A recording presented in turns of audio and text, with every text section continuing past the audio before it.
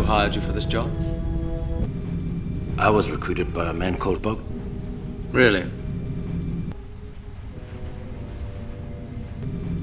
I was recruited by a pastrami. Curious. Do you like pastrami? Yes. Always a pleasure to eat pastrami. Really? I was recruited by a Jedi. Pastrami. Always a pleasure to meet a Jedi.